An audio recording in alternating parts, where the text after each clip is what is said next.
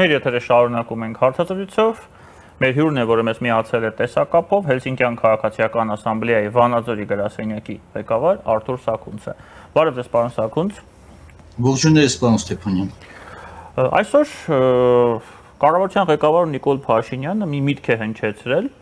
Ես կարծում եմ, որ սա իրականում ֆունդամենտալ միտք է եւ մենք պետք է առնվազն ուշադրություն տանք, հատկացնենք այդ մտքին։ Միտքը հետեւյալն է. Սահմանազատումը այն մասին է, որ տարապելը չպետք է լինի Հայաստանի Հանրապետության ģեր նպատակ։ Խնդրում եմ ձեր մեկնաբանությունը։ Դուք ինչպես եք հասկանում այս միտքը։ Ճիշտ ասած, Հիմա փորձել մեկնաբանել մի միտք, որի հետ կապված ավելի շատ հարցեր կան, մի քիչ դժվար է, բայց ես իմ հարցադրումները ձևակերպեմ, որովհետև նախ պետությունը կամ իրավաբանական հասկացությունը չի տարապում, այլ մարդիկ են տարապում առաջերտին, եթե դա նկատի ունի։ Նա մարդկանց է նկատի ունի, իհարկե։ Դե բնականաբար, բայց մարդկանց չտարապելու պայմանները շատ տարբեր են։ Մարդիկ եւ հիմքում պետք է լինի հետեւյալը, ինչքանով է մարդու իրավունքի նկատմամբ հարգանքը դրված պետության քաղաքականության հիմքում։ Սա է իմ համոզմամբ մեկնակետը։ Իհարկե իրավունքի ճանաչումը եւ իրավունքի նկատմամբ հարգանքը չի նշանակում, որ մարդու բոլոր խնդիրները լուծում են, խնդիրը ավելի շատ այդ պատասխանատվության մասին է, որ եւ այն ջանքերի, որ เป զի մարդու արժանապատվությունը նվաստացված չլինի։ Եվ մեկ, եւ մյուսը նաեւ իհարկե այն կոնտեքստում, որի մասին խոսում է վարչապետը, միտքը ձևակերպում է սահմանազատման հետ կապված, նաեւ սահմանազատման արդյունքում մարդկանց իրավունքները ոչ միայն չխախտվեն, այլ նաև կանխվեն իրավունքների հետագա խախտումները։ Արդյոք սահմանազատումը այս նշված երևույթի այսպես կոչված փրկարար օղակն է կամ միջոցն է առաջին հայացքից ինչքան որտե բառը ինքնին հասկացությունը ինչքան սահմանները զատվեն հարևան պետության հետ հստակ արձանագրվի, այնքան ուրեմն հարցադրումները կարող են պակասել, նկատի ունեմ վիճելի հարցերը, որոնք կարող են հիմք հանդիսանալ կամ որոնց շուրջը տեղի ունենան բոլորին այլ բնույթի գործողություններ, այդ թվում ռազմական գործողություններ, արճակ արճակատումներ, բնականաբար դա ոչ մի անգամ չի հանգեցնի ուրեմն մարդկանց երջանկության անթակարակը տարապանքներ, բայց մյուս կողմից էլ այդ սահմանազատում արդյոք երաշխավորում է որ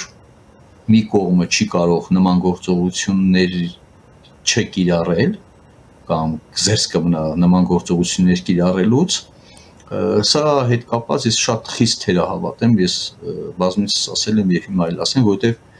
որևէ կառավարություն պարոն Ստեփանյան որը վատ է վերաբերվում իր քաղաքացիներին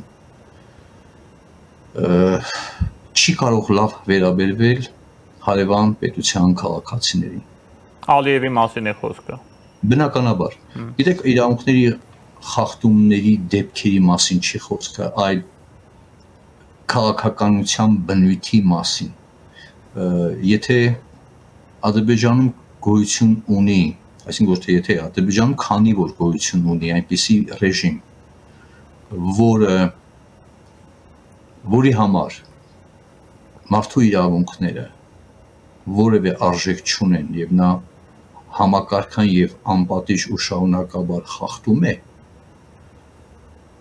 դա իր էությամբ բռնապետական ռեժիմ է դա ոչ թե իմ սուբյեկտիվ գնահատականն է միայն այլ միջազգային ամենատարբեր կառույցների կողմից Ադրբեջանում տիրապետող իրավիճակի գնահատականն է որտեղ կոռուպցիան ունի համակարգային բնույթ, հետեւաբար այդ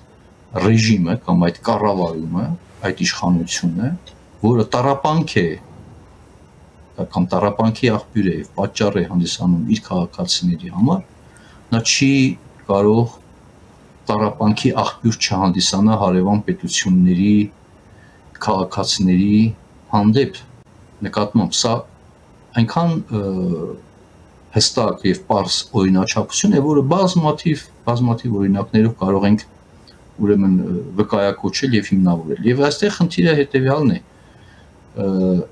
Նախ սահմանազատումը, որը իրականացում է երկկողմ հարաբերություններով,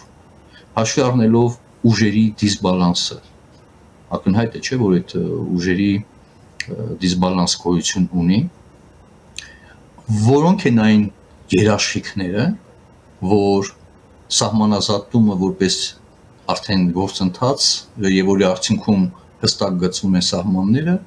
դրանք չեն խախտվելու։ Եվ մեր համոզմամբ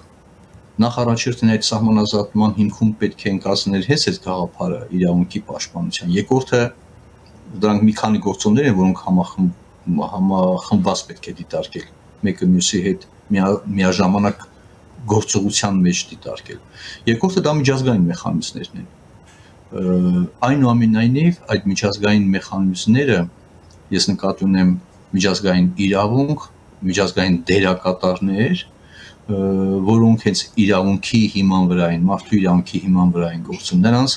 ներգրավումը կարող է հանդիսանալ երաշխիք, որ เป զի այդ սահմանազատման արդյունքում ստեղծված նոր իրավիճակը չխաթարվի ադրբեջանական ռեժիմի կողմից Եվ այդպեսի էլի օրինակներ կան, որը մշտապես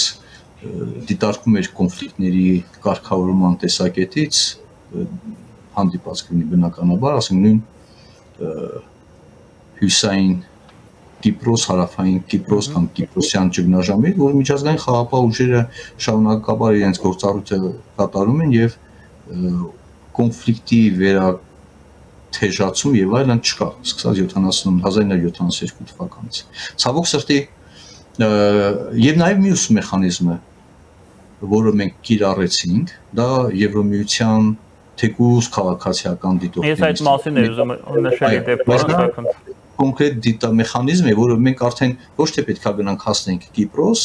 այլ մեր հենց օրինակով է դա արդեն հաստատված, որ եւ գործող մեխանիզմ է եւ գործող եւ արդյունավետ եւ կանխող կանխարգելող մեխանիզմ, այսինքն միջազգային ներկայությունը, երբ որ չկա փոխադարձ վստահություն, հա, օրինակի համար նույն սահմանազատման գործընթացի կարևոր պայմաններից մեկը դա փոխադարձ վստահությունն է ուժի կիրառումից հրաժարվելու ուրեմն եւ սպառնալիքներից զերծ մնալու հայտ իրավիճակն է, որի մասին մենք բազմիցս ասել ենք նման վստահություն կամ նման մտադրության մասին վստահելի վարկագից Ադրբեջանի ռեժիմը չի ցուցաբերում, ավելին ինքը օկուպացրել է, զավթել է Հայաստանի Հանրապետության 200 քառակուսի կիլոմետրից ավել տարածք, ավելին նա խախտելով միջազգային իրավունքի նորմերը բռնի էթնիկ զտման ենթարկեց անկախ նրանից թե Արցախի ղեկավարությունը ինչ դիրքորոշում է ընդունել կամ չի ընդունել սխալ է թե ճիշտ է փաստը ունի փաստ որ Ադրբեջանի ռեժիմը ուժի սպառնալիքի ներքո սեպտեմբերի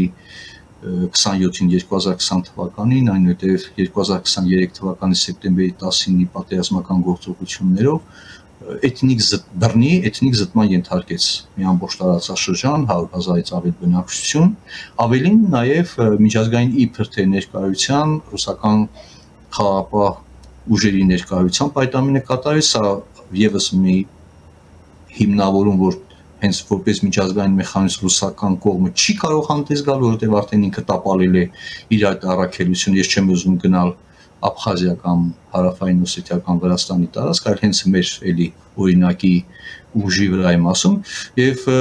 այս պատկերում այս միջև այս պահը եվրոպական միության քաղաքացիական դիտորդներն են, որոնք ունենում են զսպող ազդեցություն եւ հետեւաբար այս մեխանիզմի զուգահեռ ներդրումը շատ կարեւոր է, բայց Վերստին էլի դրանից բացի պետք է լինի մի շատ կարևոր հանգամանք եւ դրանից չպետք է խուսափել եւ դա մասին պետք է հետեւողական լինել։ Դա Հայաստանի Հանրապետության անվտանգության համակարգի, այնպիսի անվտանգության համակարգի ձևավորումն է, ես նկատում ոչ միայն սահմանապահ զորքեր, նաև զինված ուժեր, նաև անվտանգության համակարգ նկատի ունեմ հետախուզական ծառայություն, հակահետախուզություն, ազգային անվտանգության ծառայություն, կոնկրետ սահմանամես կամ սահմանազատման արդյունքում իրավիճակում առաջնային գործող, հա, պետական սուբյեկտների առումով, որոնք ապահովեն Հայաստանի Հանրապետության ոչ միայն արդյունավետ ինքնապաշտպանությունը, քաղաքացիների անվտանգությունը, այլ նաև ունակ լինեն հակադարձելու, կանխելու հնարավոր ոտնձգությունները, որտեղ դու հույս դնելով միջազգային իրավունքին, իսկ դա կարևոր է, չնայած բոլոր ուրեմն ոտնձգություններն այնուամենայնիվ դա գոյություն ունի, որով չափում ես դու վարկագիծը խախտել է թե չի խախտել բայց դրան որպեսի երաշխավորվի եւ դա ապահովի եւ դա գործի դու դրա համար պետք է ունենաս համապատասխան ինստիտուցիոնալ կարողություններ, հնարավորություններ, հա սա շատ կարևոր հանգամանքներ է, որը որի մասին մենք ցավոք սրտի առայժմ չենք լսում։ Մյուսը իհարկե միանշան, հա դա պատերազմական հանցագործությունների համար Ադրբեջանի ղեկավարության պատասխանատվության ենթարկելու ուղղված գործընթացի շարունակությունն է, որտեղ դա շատ կարևոր մահակներից մեկն է եւ այդտեղ էլ որևէ նահանջ, որևէ անկրկում չպետք է թույլ տալ։ Այս պատկերում բոլոր այն գործողությունները, եթե դու այս ամեն ինչը անում ես, պատշաճ վստահելի համոզիչ քայլերով, ոչ թե մեկ չափանի գործողության մասին է պարոն Ստեփանյան, այլ այլ նշած բոլոր ուղություններով որը կազմում է մի ամբողջ այդ պատկերը, հա, անվտանգային երաշխիքների որևէ մանիպուլյացիա, որևէ շահարկում չի ունենա որևիցե հիմք եւ որևիցե իհարկե աչակցություն անկառնայից թե ով է դա փորձում օգտագործել սրանք են այն հիմնական հարցերը, որոնք այս պահին օրակարգում են եւ քանի դեռ դրանց վրա համոզիչ դրանց վերաբերյալ համոզիչ պատասխաններ, համոզիչ ուղերձներ չկան, ապա այդ անորոշությունները պարարթող են ամեն ինչով լցվելու, որ որ որ մենք տեսնում ենք հիմա, չնայած մյուս կողմից էլ իհարկե որևէ մենք այլ օրակարգ չենք տեսնում սա էլ մյուս երևույթն է այսինքն ունենք մի հատ իրավիճակ երբ որ թեկուզ ամենա թերի ոչ լիարժեք ոչ ամբողջացված գործողություն է տեղ ունենում որը որի վերաբերյալ մենք էլ ենք մեր քննադատությունը մտահոգություն արտահայտում բայց մյուս կողմից էլ առաջարկ թե որն է լավագույն այլ տարբերակը այլընտրանք չկա այլընտրանք չեն ներկայացնում այլընտրանքը կա, որը ես ասեցի, թվարկեցի ինչու է այլընտրանքը։ Դրանց զարգացումը իմ պատկերացմամբ հստակ եմ ես ասում, չէ, միջազգային մեխանիզմ, միջազգային ներկայություն, իրավունքի իման վրա ուրեմն խնդիրների կարգավորում այդ սահմանազատում։ Նո այդ ամեն ինչը կարծես թե կա։ Չէ, տեսեք, հիմա Թերի է, բայց կա։ Դե հենց դա համար եմ ասում, այդ թերի լինելու համար այդ հիմքերը հենց հանդիսանում են հիմնավորում նման գործողությունների, որոնք ուղղված են արդեն թերի գործընթացի դեմ, հա։ Այսինքն ճանապարհը ճիշտ է, պարոն Սաքոնց, մնում է այնպես անենք, որ շեղվենք այդ ճանապարհից։ Պարոն Ստեփանյան, ճանապարհի ճիշտ ու սխալի մասին չի, կա անհրաժեշտ գործողություն, որը պետք է կատարվի, դա սահմանազատումն է, սա ասեմ։ Բայց ես ասացի, թե ինչ այլ երաշխիքներ են կարելի։ Նախ առաջերտին այդ թվար չթվարկեմ, բայց այդ ամբողջ իմ նշած աշխատանքները։ Տեսեք, բայց մի հատ այս ձևի հարց օրինակի համար ինձ թվում է երևի թե մեզ համար դեռևս պատասխան չունենք վարչապետի աշխատակազմի կողմից երեք հրապարակվել չէ սահմանազատման վերաբերյալ կոնկրետ արդյունքների մասին եւ նշվում է որ Կիրանց գյուղի երկու բնակչի տների հետ կապված հարց առաջացել, որոնք մնացել են սահմանից այն կողմ եւ հիմա կամ կամուրջի հետ կապված հարցն է, որը առաջացել է, ես այդ կամուրջը գնացել եմ, տեսել եմ, դա իրապես կենսական նշանակություն ունեցող։ Իմ ձեր մոդել երևի թե պետքա բոլորիս մոտ հարց առաջանա հնարավոր ինչ հնարավոր չանքեր է գործադրվել, որպեսզի խուսափել արդեն ոչ թե չբնակեցված տարածքի մասին, այլ արդեն բնակեցված, հա, սեփականության իրավունքի պաշտպանության տեսակետից հարցը լուծելու, որ เป զի այն իր այն արդյունքը չունանք, որը մենք ունեցանք։ Կարող է շատ ցինիկ հնչի, որ դե գիտեք ոնց է երկու անձանց սեփականության իրավունքի հետ կապված հարցերի պատճառով ամբողջ գործընթացը չխաթարվի, կներեք, այդ շատ իրապես ցինիկ բան է, բայց կներեք, հենց սա է նաև ախտորոշում, որ իրապես գործընթացում իրավունքի հիման վրա մոտեցումները առավել քան պահանջված են որպես թեկուզ մեկ մարդու, մեկ անձի ուրեմն սեփականության իրավունքը սկզբունքն է կարևոր։ Այո, այդ սկզբունքը խախտված չլինի, որտեղ եթե դու դա այդ սկզբունքը վերցնում ես, ապա ես ես վստահեցնում եմ, որ այդ սահմանազատման գործընթացը շատ ավելի այլ բնույթի կլիներ, օրինակ եմար առանցին հատվածների փոփոխություն, չէ, ասենք թե որտեղ որ իրապես տարածքի մակերեսով կարելի էր փոխանակումներ անել, համաձայնվել, բայց իրավունքի պաշտպանությունը երաշխավորելու համար ես հասկանում եմ, որ Ադրբեջանի հետ կամ ադրբեջանական կողմի հետ նման սկզբունքի կամ նման արժեքների հիման վրա սկզբունքի գործընթացը անիմաստ է, որ նման բան ակնկալեն, որտեղ ես բարձ ասեմ, հենց նույն Ադրբեջանի ռեժիմը իր քաղաքացիների սեփականության իրավունքի զանգվածային խախտումներ էր թույլտվել այդ գազամուղի շինարարության հետ կապված, երբ որ անցնում են մարդկանց սեփական տարածքներ, եւ ուղղակի նրանք կադասային թղթերը փոխում են, ասում են սա ձեր տարածք չի։ Ուղղակի զավթում էին, հա, այսպես ասել, դա ծանոթ պատմություն է մեր ոչ վաղ անցյալի հյուսային պողոտայի Բյուզանդի եւ այլն նույն վերաբերմունքը այնտեղ էլ կա դրա համար եւ այստեղ է որ անհրաժեշտաբար առաջ է գալիս միջազգային մեխանիզմների ներգրավման հիմնավորումը եւ ոչ միայն միջազգային մեխանիզմի այն եվրոպական միության քաղաքացիական դիտորդներու արդեն արված, հա, սահմանագծված, սահմանանշված տարածքը հսկելու կամ հնարավոր ոտնձգությունների կանխման նպատակով այդ քաղաքացիական դիտորդների ներգրավմամբ այլ այդ մեխանիզմի մասին, այլ նաև հենց ինքնին գործընթացի ընթացքում այդ մեխանիզմի ներգրավման անհրաժեշտություն մասին։ Սակոնց, անդրադառնանք նաև սրբազան շարժմանը, կապված նպատակների հետ, կարծես թե ի սկզբանե, երբ որ այդ շարժումը մեկնարկեց Տավուշից, նշվում էր, որ թիվ 1 նպատակը հենց այդ սահմանազատման սահմանազատմանը խոչընդոտելն է, որովհետև սա իրավակ ոչ իրավական Հայաստանի սահմանադրությանը չհամապատասխանող ակտ է,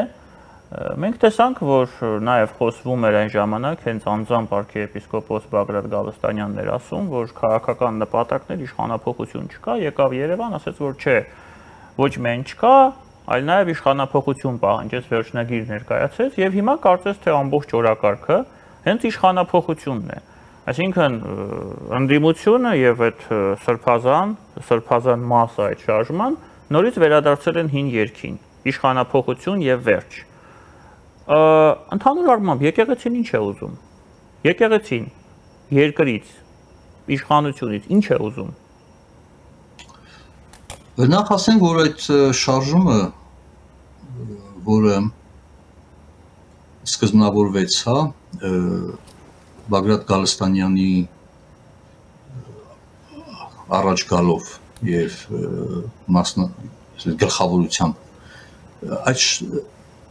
Մինչ այդ ես ես ուղակի բացեմ մի փոքր այսպիսի հագագծեր դերևս ապրիլի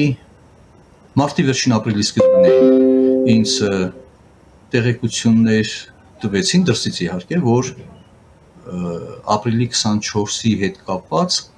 նախատեսվում է բողոքի ցույցեր ընդդիմության կողմից օգտագործելով հայ առաքելական եկեղեցին։ Ես դրա մասին նույնիսկ իմ Facebook-յան պատին ժամանակին որոշ իհարկե ուշացնում, որովհետև մտածում էի գուցե եւ ապատեղեկատվություն է, բայց այն անունայինև ճշտելուց հետո դա գրանցում արեցի, որ աստորեն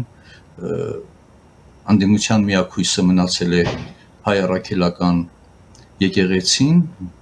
որին փորձում է օգտագործել եւ առաքելական եկեղեցին տվել է իր համաձայնություն փաստորեն այդ ժամանակ չկար այդ սահմանազատման մասին այն գործընթացը, որի որը տեղ ունեցավ։ Այնպես որ այս շարժումը իհարկե պլանավորված էր եւ առիթը փաստորեն ապրիլի 24-ը չհանդիսացավ, այլ հենց սահմանազատման, այսինքն որևէ առիթ պետք է լիներ, որի նպատակը իհարկե ընդդիմության քաղաքական պահանջներն հասնել իշխանապողության։ Այն ինչ որ մշտապես 2000 18 թվականի թավշահեղափոխությունից հետո եղել նրանց օրակարգում։ Սա ինձ համար ակնհայտ է, པարզի եւ սրանում որևէ կասկած չունեմ եւ այն որ դուք ասում եք սկզբից այնպես էր դողակի դա տակտիկական հնարք էր հավաքել մարդկանց եւ օբյեկտիվ դժգոհությունների կամ մտահոգությունների հիման վրա ակումուլացնել եւ այնուհետեւ այդ նույն տեխնոլոգիան, որը Հաստատեն այդ մարդկանց ուղակի խაფել են։ Իրեր անվանենք իրենց անուններով։ Գիտեք ոնց է բողոքի ցույցի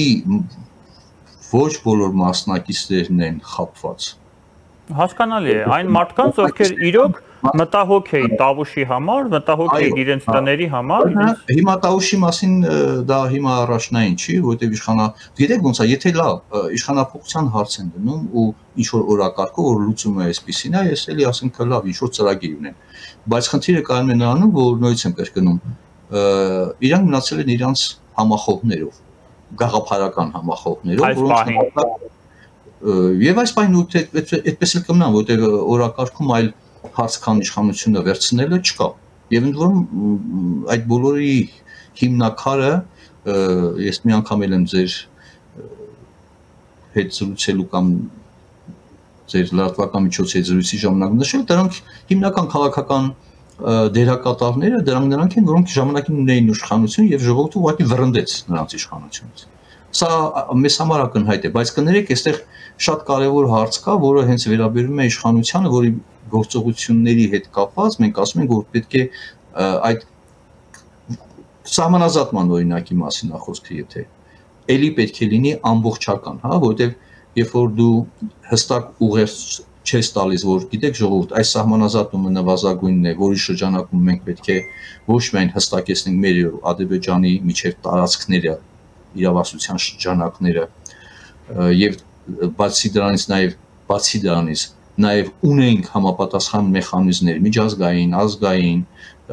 պոտենցիալ կանխելու հնարավոր ոտնձգությունները դրա համար ինքը կլինի ամբողջական ընկալում եւ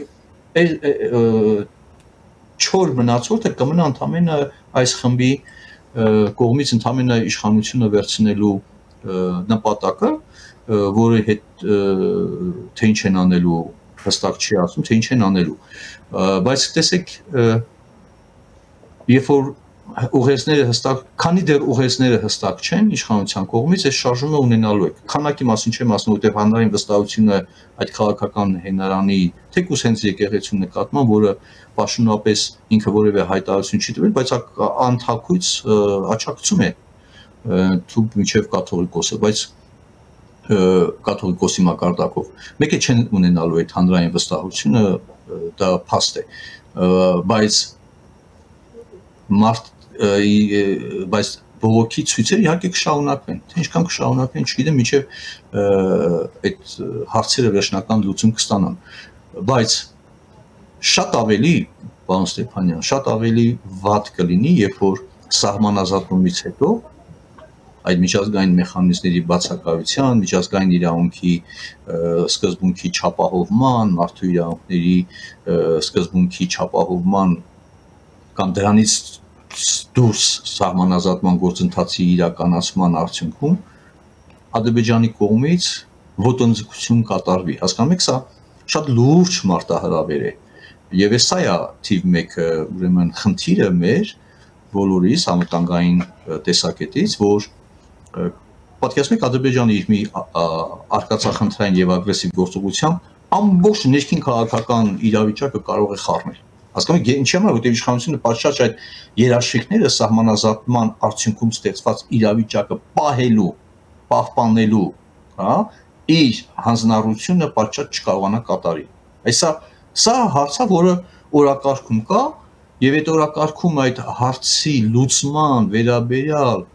հստակ վստահելի ուրեմն ուղերձը, վարկագիծը, մոտեցումները հանրությունը պետք է իմանա։ Եվ այդ դեպքում ես ես վստահեցնում եմ ընդհանրապես շարժումը որևէ կերպ ասենք կլինի ուղղակի բողոքողների ուրեմն խումբ ընդամենը, հա, նեղ շրջանակից եթե այդպիսի գործողություն կատարվի, ապա կներեք այդ շարժումը արդեն նույնիսկ կարող է լուսանցքում հայտնվել եւ բոլորին այլ գործընթացներ տեղ ունենան։ Սա սպառնալիք է, այո։ Սա սպառնալիք է։ Դուք չեք կարծում, որ իրականում այս գործընթացը նախաձեռնելով մեր երկրի ղեկավարությունը նաև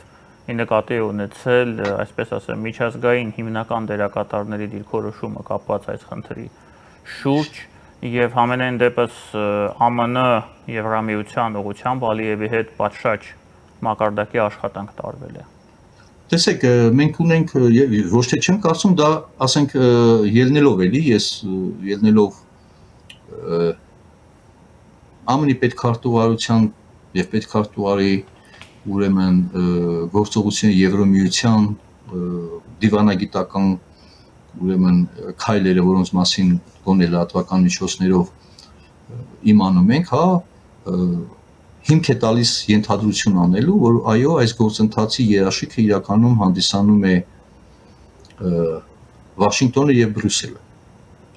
բայց որը ինստիտուցիոնալացված չէ, ես սա մասին եմ ասում։ Այսինքն ինստիտուցիոնալացված ասածը դա նշանակում է, որ մի կողմ է գցվում երրակողմ հայտարարությունը, որը դե յուրե այլևս գոյություն չունի, որովհետև ոչ միայն իսկ եւ առաջի հերթին ռազմագերիները չեն վերադարձված, որոնք պետք է այդ հայտարարությամբ վերադարձվեին չպետք է ձերբակալվեին անկախ մեր վերաբերմունքից Արցախի ղեկավարությունը, այլ նաև այլ նաև միակողմանի, այլ քիչ երկու կողմի որոշմամբ ռուսական խաղապահ ուժերը հանվում են Լեռնային Ղարաբաղի տարածքից, Արցախի տարածքից միջև 2025 թիվը առանց Հայաստանի մասնակցության այդ որոշումը կայացում է, այսինքն երակոմ հայտարարությամբ այդ զինված ուժերի խաղապահ այսպես կոչված զորախմբի ներգրավման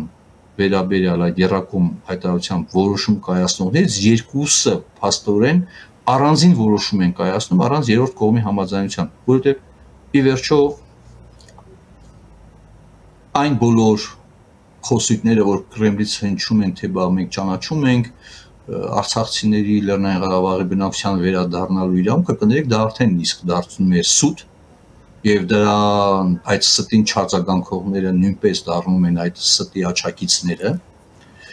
բայց մյուս կողմից վերջնաշով պատմական հուշարձաններ կան այնտեղ որտեղ գոն է հա այդ պահպանության սկսած ուրեմն դադիվանքի, հա, որը իբր թե պահպանում էին։ Այսինքն ես ինչ եմ ուզում ասել, որ այդ երակոմ հայտարարությունից պետք է դուրս գա հապկից պետք է դուրս գալ, ոչ թե գիտեք այն ասма թե կիսամեր վիճակում է, ոչ մահացածա, ոչ ողջը, հա, հիմա Հայաստանի կարգավիճակը հապկում այդ կարգավիճակն է կամ եհատում շարունակել գտնվելը։ Դու ունես սնամեջ, փուչ ինստիտուտներ, ինստիտուցիոնալ ինչ որ վիճակ այդ հանձինս այդ կառույցների եւ ունես արդյունավետ թեկուս վարագույրի հետևից, հա, կամ դիվանագիտական այսպես կոչված կարգավիճակում աչակցություն, որը ինստիտուցիոնալացված չի, այս վիճակը աննորմալ է։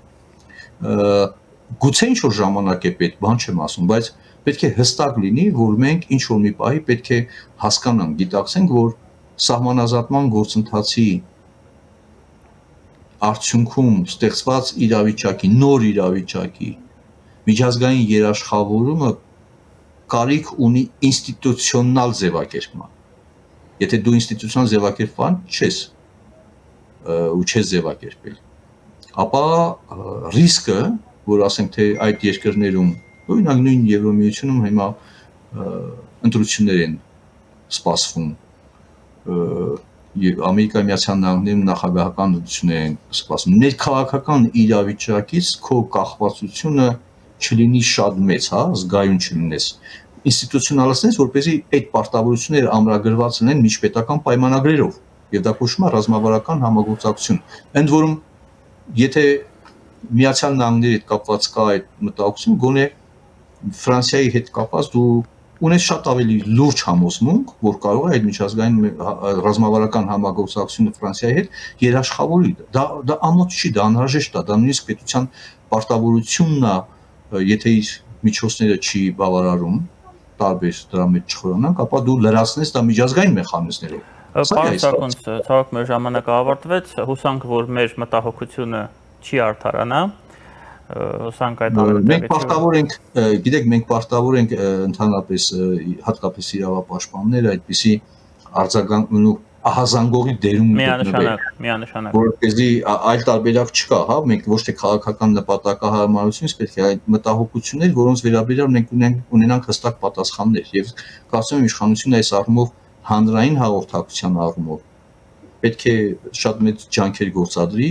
տակը ունենալով իհարկե համապատասխան լուծումները, մոտեցումները։ Չգիտեմ, ինչպես իշխանությունները, պարոն Սաքունց, ես դες այդ դրա համար շատ շնորհակալ եմ։ Շնորհակալություն։ Հաջողություն ձեզ։